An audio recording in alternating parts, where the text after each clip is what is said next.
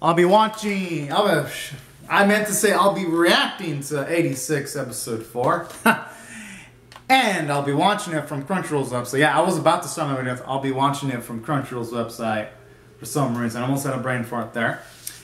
And I'll be starting my reaction to 86 episode 4 in 1, 0, go. Oh man.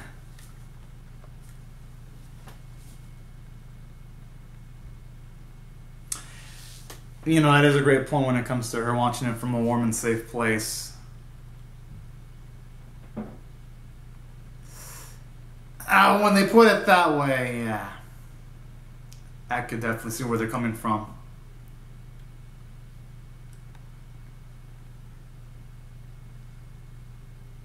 You know, that's a good point because whenever she talks to Shin, she only refers to him as Undertaker.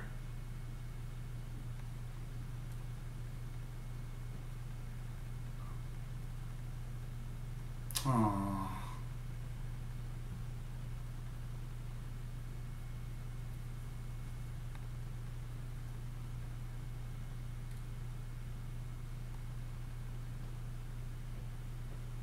I'm not gonna blame him, considering what went down. Oh.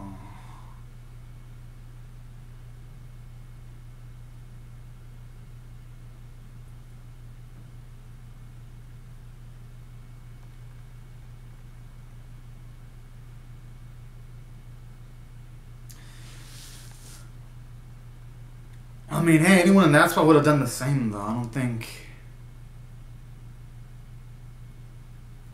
I don't think he. I don't think there really wasn't was much he could have done in this scenario. But in saying that, though, I just wonder if every single time an 86 is going to be involved in combat.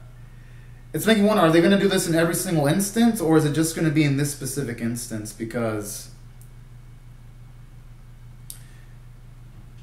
if they're not going to show the perspective of uh, the Undertaker and their crew, I just wonder how the series is going to do things. But other than that, though, I was a big fan of everything else episode number three did, though.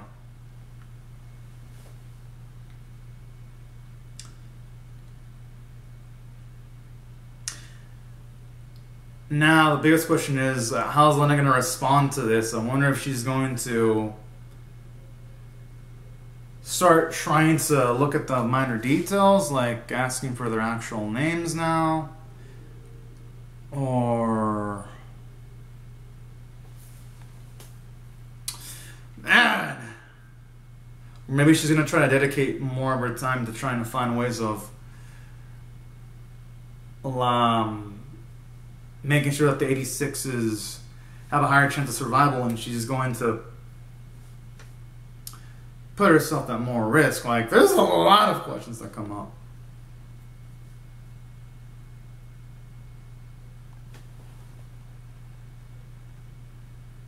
Hmm.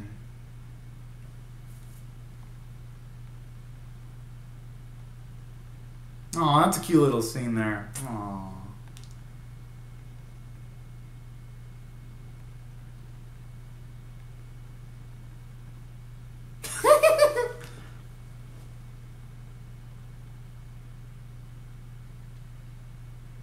Hey, the Fox looks pretty badass if you ask me.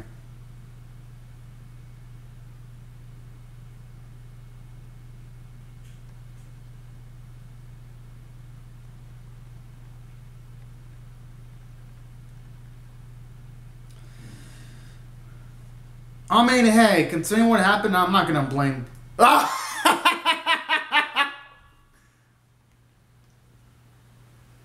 What do I want to do to her, dude? A little bell.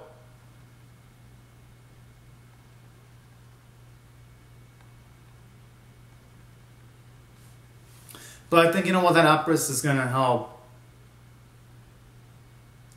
Lena grow in the long run, though, because sometimes you do, need to be hurled towards adversity for growth and self-improvement. So even though they'll might have any reservations of what he said, I think it could lead to something beautiful.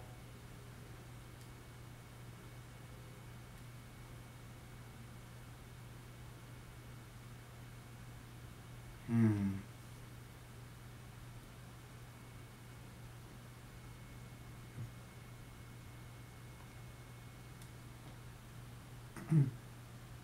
Although on the dangerous scenarios that they're in, yeah, I'm, uh, you to take distinction stance there. I mean, if they're constantly in epic action, things such as reserving um, resources or reserving their tech doesn't sound like they have. They're gonna have much of an option doing that. The only thing that can help is Lady Luck that they're not forced in a position where they gotta wreck their gear. That's the only thing they can hope for. Just hope that things can stay in their favor as long as possible.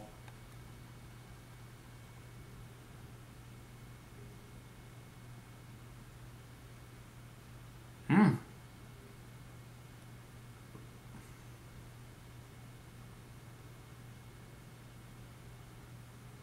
Oh, he's gonna be in for a shocker once she shows up again. Oh boy.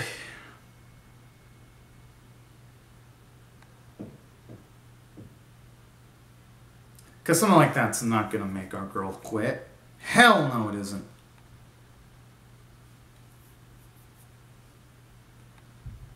Show Blitz.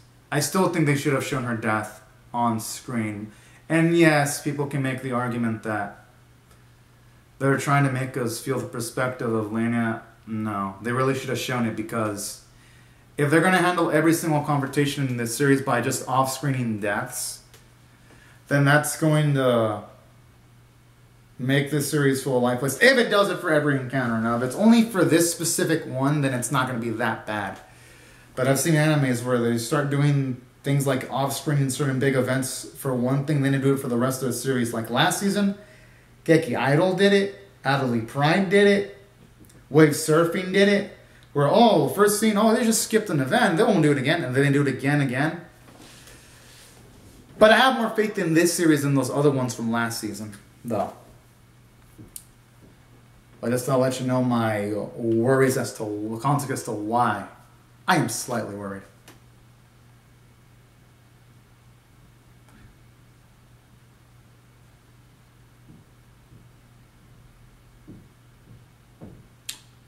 No, that's where she's wrong. The thing that Penrose needs to consider too is that. Yeah, how would she feel if people didn't know her name and they just referred to her as her working title?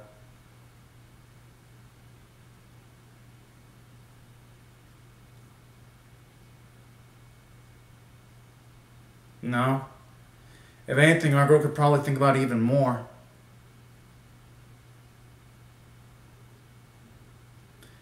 Yeah, but it could just be lack of experience, though, that's screwed over.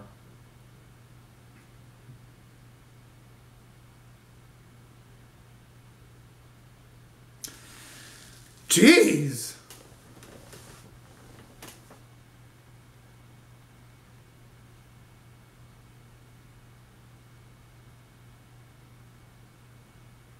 I mean, she when she puts it that way, I can see Penrose's perspective, but I still think it's better to try to get closer to the 86 instead of trying to I want him straight up. Good, good.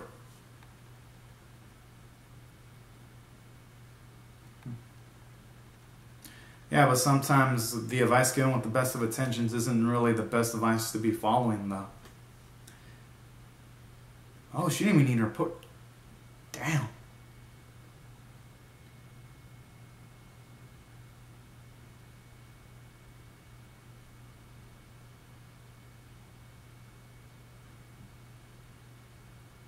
Hmm.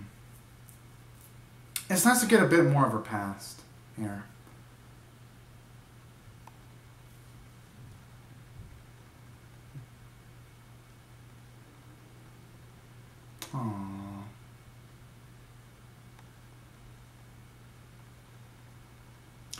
You know, if some of the other recruits were to see some of the frontline action, maybe they would have gotten a similar perspe- perception of things like Lena would. Oh.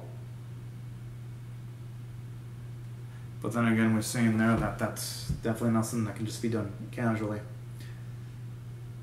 But that feels like it'd be the best way, though, even with the risk factor involved.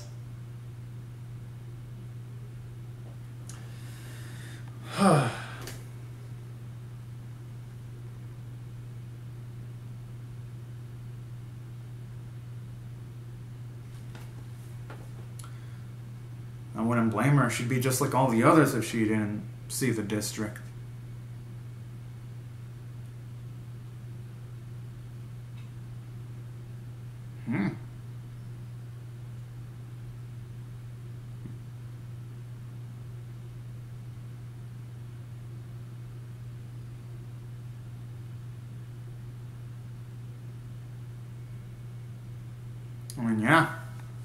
To risk himself and making sure that his daughter knows the truth is pretty darn badass, if you ask me.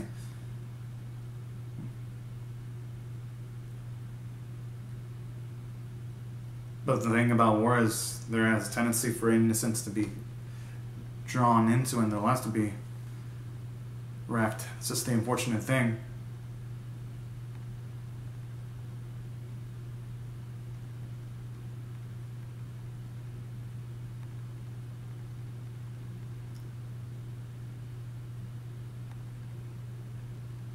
Hmm.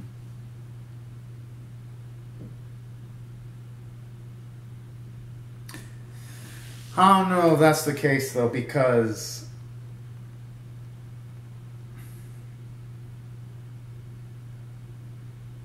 you know, Elena might end up become no, I think she's gonna become like her dad, but it's a much more extreme version. It's my gut feeling.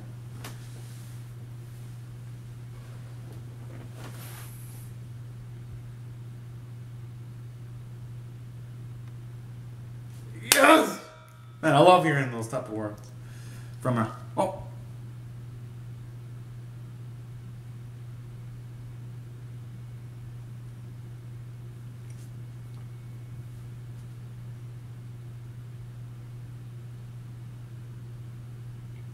Hmm.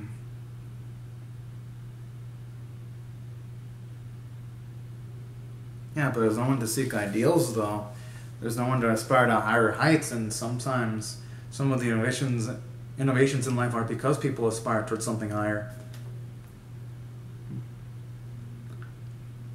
The thing is, though, no one's gonna know if it's truly impossible if no one tries. So I'd say she should still give up, still give it a chance and keep on trying.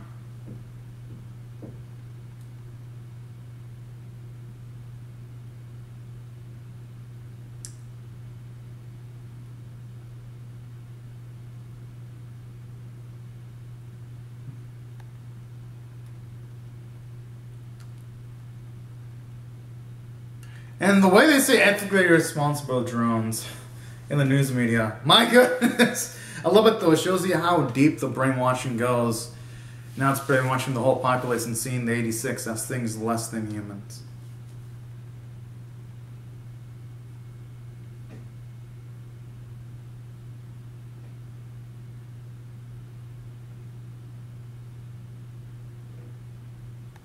Mmm. I wonder if she's gonna push it differently by asking some casual things like Undertaker's actual name for starters. Hmm. Okay.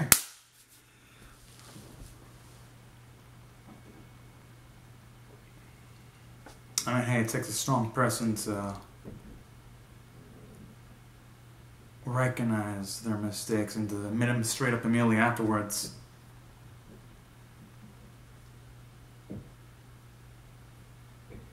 Hey, you know what they say? Better late than never.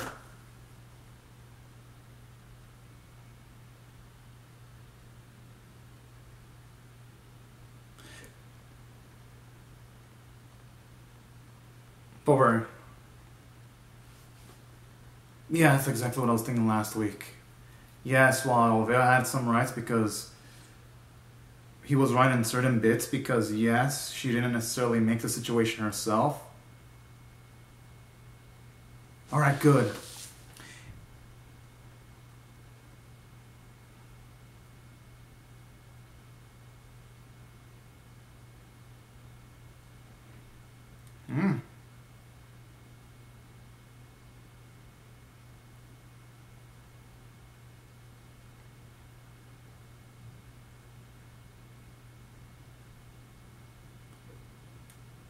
The thing is, though, Los Angeles are built different from Lena. Lena is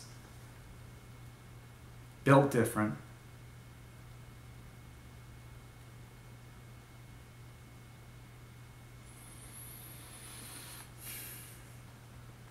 That's good, though. And I love how she still keeps on pressing Shinja learn his real, just to learn his real name and all the others, too. I mean, when she's that determined, who could say no? Who could say no to that? Oh.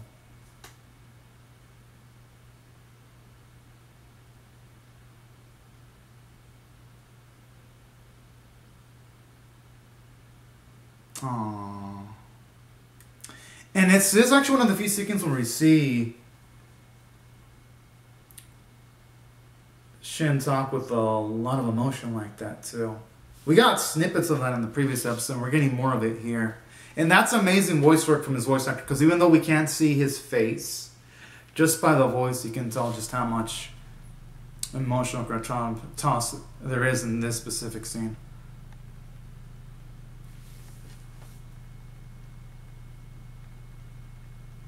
Hmm.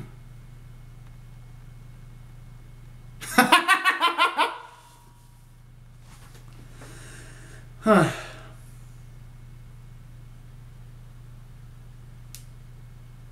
Oh.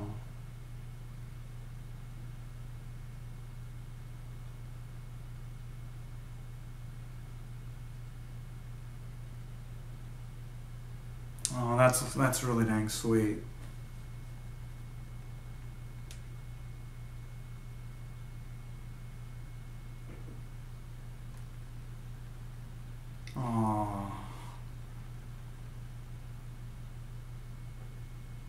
No wonder why he um every single time he they show him he looks like the entire weight of the world is on his shoulders.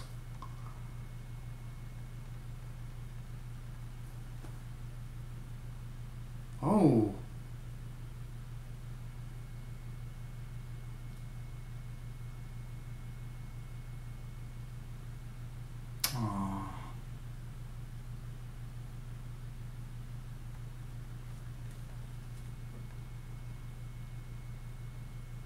But hey, you know, Elena can change that. Well, she can start changing some things. I mean, hey, she should go for it. Fuck it, you might as well do it. I wonder if he's gonna take him to Thale first. I would want to see Thale's reaction.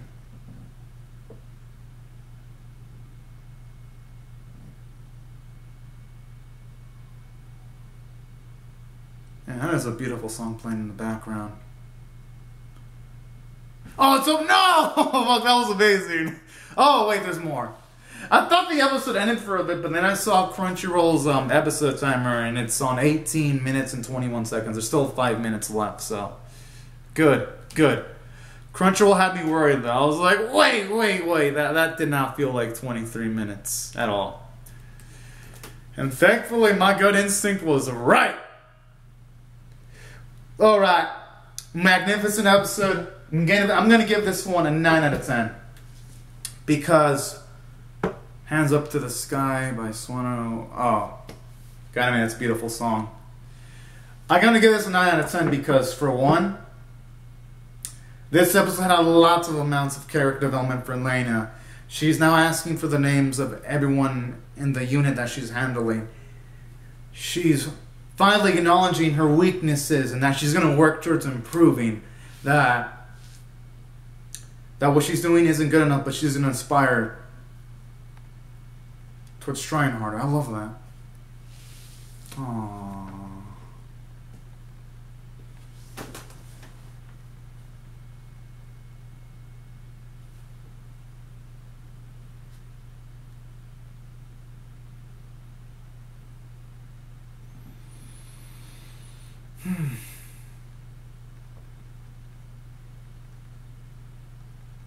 The thing is, it's different from learning their names from, say, a person and hearing it from the. Yeah, it looks like she's finally learning. Hey, might as well do it.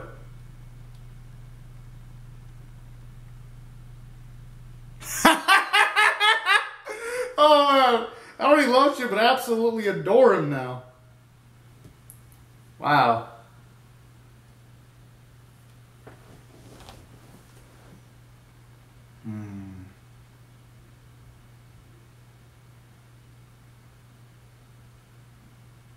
Oh.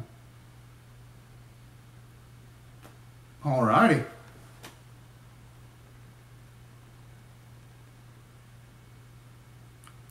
Damn, that is badass.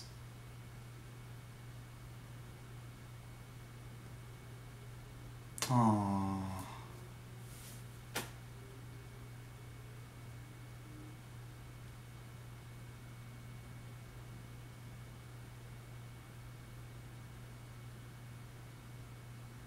I mean, hey, I'm not gonna blame Theo for having that stance. But hey, it's fair.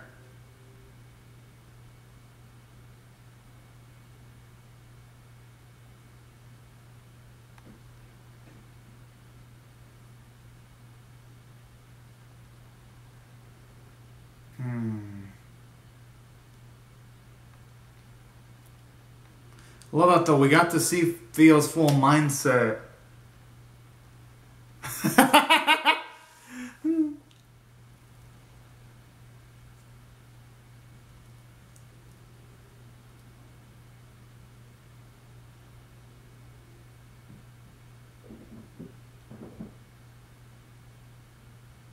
I mean, hey, she considering the concept of how most al- albas are, I'm not gonna blame Sugar one bit, but that's still takes a strong person to admit their faults like that.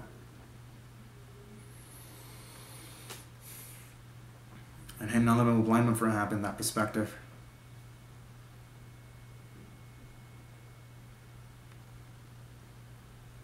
Hey, alright.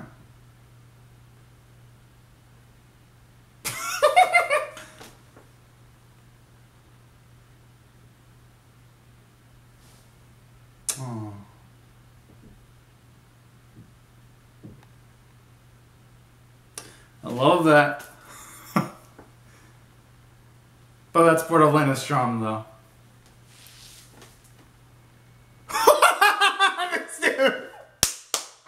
Oh.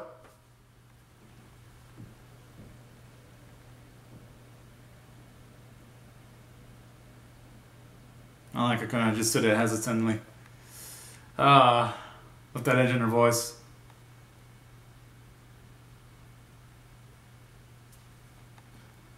Oh, look at there's more. I thought I was like, no, I need more, and thankfully there's more.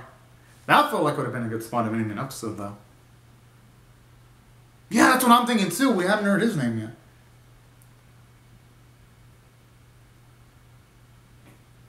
Hmm. Oh.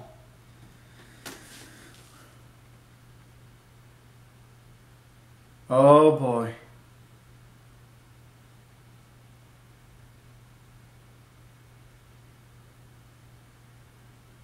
Whoa, what could have happened there?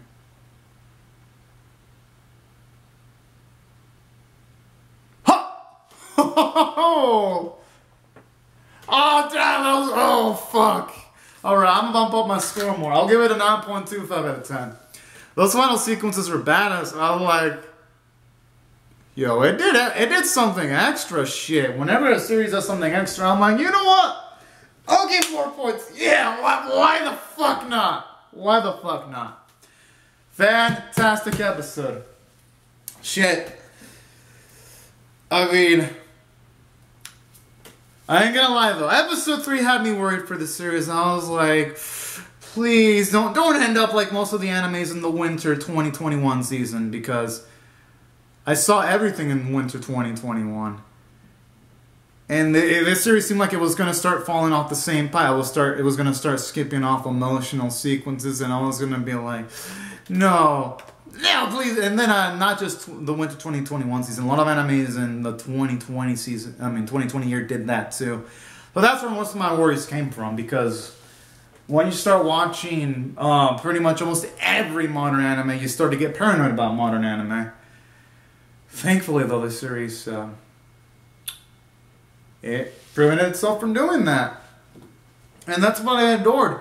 Because something else I love about this episode, aside from Lena's character development, I love Shin's character development because, for one, it was nice to get to see him actually do some solids for Lenya and he helped out patching things between Lenya and the others. I thought there was something really beautiful about that. And I also loved, too, how you saw Shin he did try to help patch things up between Theo and Lane in a subtle way. That's I love stuff like that. And other things I love too about this episode. I love the fact that I mentioned circumstances regarding what happened to Laniel's father and just seeing the way he died. Well, hearing about it, what, shit, that that got to me. I was like, man, he was a real dude. But in saying that, his loss was a necessity because if there's gonna have to be any hope in changing the system, it's gonna have to start with one individual, and I have no doubt that that one individual is gonna be Atlanta, who's gonna cause that change and the status quo in the series that needs to change. And, I, and that's what I love too about this episode. And then aside from all these elements, the aesthetics were pretty, great music, great voice work, and that's why I thought the episode was worthy of a 9.2 out of 10. Like this episode is just absolutely magnificent. But anyways, y'all, these are my thoughts on the episode. I would love to hear your thoughts on how I feel about my reaction or the episode itself in the comment section below. Hope y'all share the video if y'all want to, and I'll bid y'all well or great and safe day. Hope y'all have a great, fun, some fantastic day or weekend, and I'll see y'all later to come back for more. But anyways, y'all, thank y'all so much for watching my video, and bye-bye, everyone.